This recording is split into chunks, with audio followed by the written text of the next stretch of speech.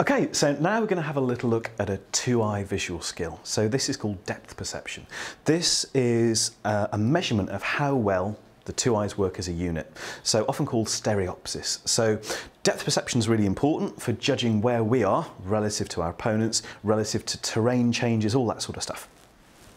Now, if we have one eye that sees really well and one eye that maybe doesn't see as well, that can affect the eye teamwork and that can really have a, a detrimental effect on our, our, ability to judge sort of accurately where we are relative to our opponents.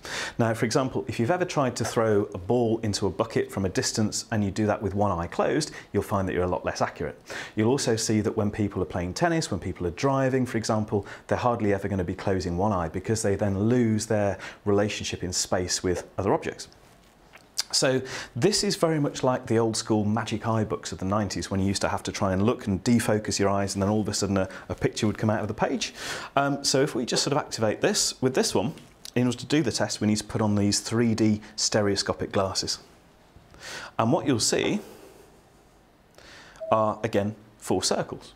And one of the circles is going to be bigger. It might look as though it floats. It might look as though it's closer to you than the other three. And the way this works is once we go through the demonstration video, you'll see that one of the circles has got a red ring around it and a blue ring. So in this case, if I was wearing the glasses, my left eye would see the red ring, my right eye would see the blue ring, and then I would see that 3D stereoscopic image. However, if one of my eyes is suboptimally focused, so for example in my contact lenses, if this was a little bit underpowered, or even if my contact lenses weren't clean, if they were dirty, then that would negatively affect how the two eyes work together. And again, this is a really important thing for those of you who do wear contact lenses. If you imagine that you wear, for example, a monthly lens, the lens performance is always going to be a little bit worse on day 31 than it is on day one. So something as simple as trying to go into daily disposable contact lenses for playing paintball is going to be a winner because that can actually help to make sure you've got crisp, clean, sharp, accurate vision straight away. So if we just start a test. Okay, so here we can see we've got three rings which are completely black, and there we've got the one ring which has got the, the red and the blue around it. And as we proceed with the test, these little rings are going to get closer and closer and closer together. So what we call the disparity, the difference between them is going to be a lot more difficult to find.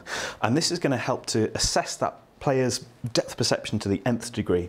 Depth perception is trainable, so sometimes we find that we have somebody who actually doesn't really have very good stereopsis. We can find ways to help to improve that, and that's all about eye muscle training.